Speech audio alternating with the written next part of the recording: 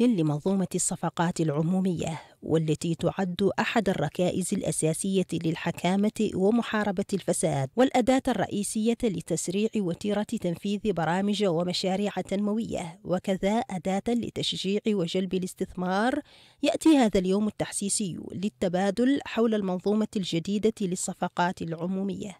وقد تجسد هذا الإصلاح الذي جاء بعد مراجعة متأنية وتشاركية للمدونة السابقة في سن قانون جديد للصفقات العمومية أكثر موائمة لبيئتنا ويضمن تفعيلا أكثر توازنا لمختلف الآليات المتعلقة بإبرام ورقابة وتنظيم الصفقات العمومية في مختلف القطاعات الوزارية والسلطات المتعاقدة الخاضعة لوصايتها كما يؤمن تبسيط وتسريع الإجراءات المتبعة بشفافية وفاعلية أكبر.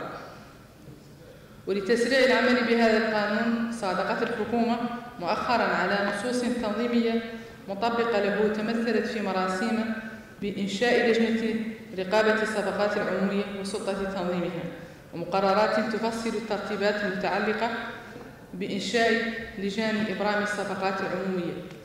وتحديد أسقفها وشروط وإجراءات انتقاء وتعيين رؤسائها وأعضائها.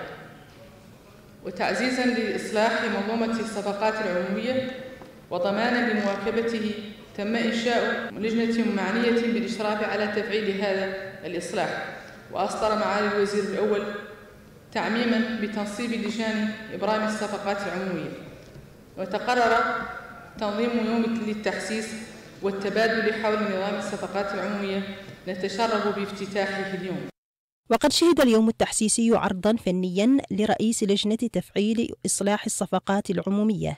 السيد محمد لمين حمادي حول تاريخ الصفقة العمومية والإصلاحات التي قيم بها والمنظومة الجديدة للصفقات العمومية كما تم خلاله النقاش والتدارس مع كافة الفاعلين في مجال الصفقات العمومية لتحسين خبراتهم ومعارفهم سبيلا إلى تحقيق الإصلاح المنشود.